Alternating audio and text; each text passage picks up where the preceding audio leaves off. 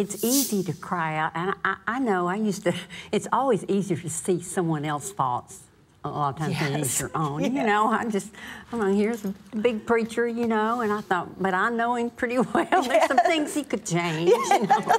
And so I'm praying. I'm getting up at 5 o'clock in the morning. God, please, because I, I saw he, he'd lost his joy. He'd lost his peace. He'd lost his zeal for God, you know. And I'm crying out, God, help James.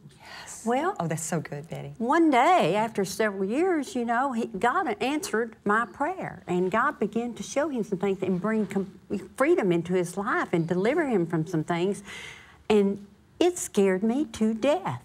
You and got what you asked for, and it scared you. It scared me because I didn't understand yes. it, and so I began to draw back and you know, defensively and didn't, and, and James was this meek and mild, which he'd not been before, you know.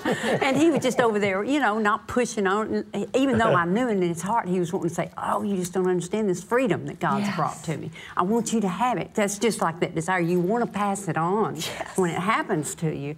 And so, but he was being very patient with me, and I began to put up defenses and fight the very thing that I had prayed and asked God for. We're scared of because change. you know why? Yes. The time that I spent praying, I had time to put my outline out and think, God, now it'd be nice if you do it this way, you yes. know, and put all these little wants yes. and desires underneath it. Here's well, what I want you to do, and God here's how I want you to do my, it. He just scratched my whole list, mm-hmm. you know. he never said, looks at mine This either, is not my way. he said, this is not my way, his way.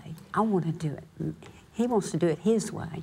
And His way is so much better because in time, with patience from my husband and just God just gently, in many ways, just tugging at my heart and saying, having such, God wants it for us as much. That's as, right. You know, when we get to that point, we ask for it. He, he wants it more for us.